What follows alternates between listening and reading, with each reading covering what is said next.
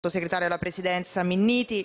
Sappiamo che la prossima settimana sarà in aula il ministro Gentiloni per riferire, ma noi crediamo che visti i fatti che sono accaduti nelle ultime ore sia urgentissima l'informativa da parte del governo e noi chiediamo e ci associamo alla richiesta di quei partiti che hanno chiesto che il ministro Gentiloni venga immediatamente in aula a riferire sulla situazione libica. Grazie.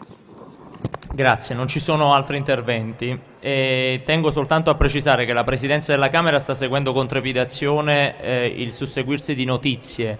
È chiaro che non esprimiamo alcuna condoglianza ancora, speriamo di non doverla esprimere perché i fatti sono ancora in evoluzione. Io ho qui il comunicato eh, della Farnesina che parla con, eh, di forse due connazionali uccisi quindi rinviamo qualsiasi altro commento per una questione di opportunità rispetto a notizie certe, segnalerò comunque le vostre richieste alla Presidenza della Camera eh, in merito alla convocazione del Ministro degli Affari Esteri e del Ministro della Difesa. Adesso passiamo alle dichiarazioni di voto, alle, ai voti. Avverto che è stata chiesta la votazione per parti separate della risoluzione Catania, Cenni, Russo, Garofalo, Pastorelli, Francobordo ed altri numero 6212 nel senso di votare distintamente la premessa, la prima parte del dispositivo con la quale si fa proprio la relazione, propria la relazione predisposta dalla Commissione d'inchiesta e la seconda parte del dispositivo che reca l'impegno al Governo costituendo la premessa un elemento complementare ed accessorio rispetto al dispositivo, procederemo, come avete visto ultimamente, dapprima alla votazione delle due parti del dispositivo e successivamente, solo nel caso in cui il dispositivo risulti in tutto o in parte approvato, alla votazione della premessa. Quindi pongo in votazione la prima parte del dispositivo su cui il Governo ha espresso parere favorevole. Dichiaro aperta la votazione.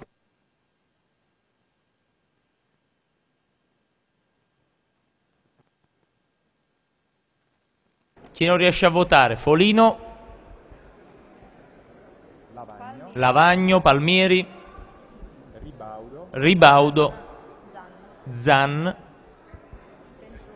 Tentori, Benitelli, per favore recatevi al posto velocemente, Iori,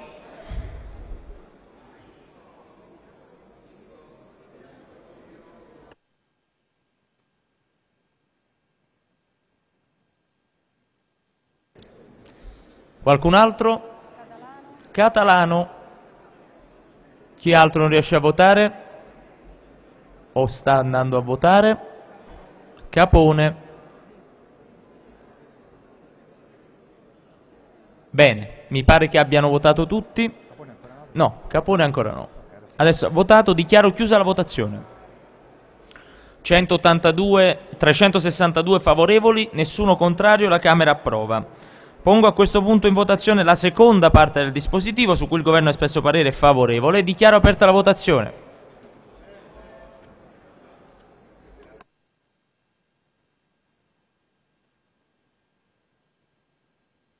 Folino.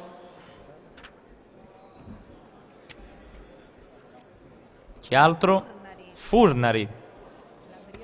Labriola.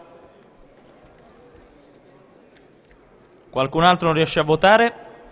Non mi pare. Dichiaro chiusa la votazione. 358 favorevoli, 56 contrari, la Camera approva. Pongo infine in votazione la premessa della risoluzione su cui il Governo ha espresso parere favorevole. Dichiaro aperta la votazione.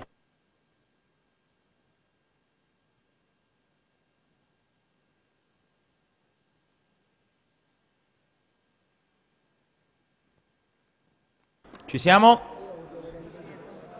Dall'AI. Dall'AI. Valente Simone.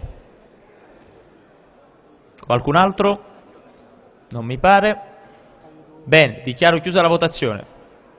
416 favorevoli, nessuno contrario, la Camera approva. L'ordine del giorno reca la discussione del testo unificato delle proposte di legge numero 75, 241, 811, 27 26 A disposizioni per la promozione e la disciplina del commercio equo e solidale.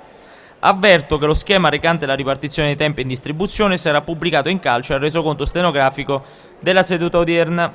Dichiaro aperta la discussione sulle linee generali. La Commissione Attività Produttive si intende autorizzata a riferire oralmente.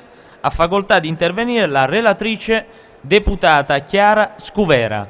Chiedo ai colleghi di tenere basso il tono della voce, per favore. Grazie Presidente. Oggi arriva in aula la prima legge nazionale sul commercio equo e solidale, una legge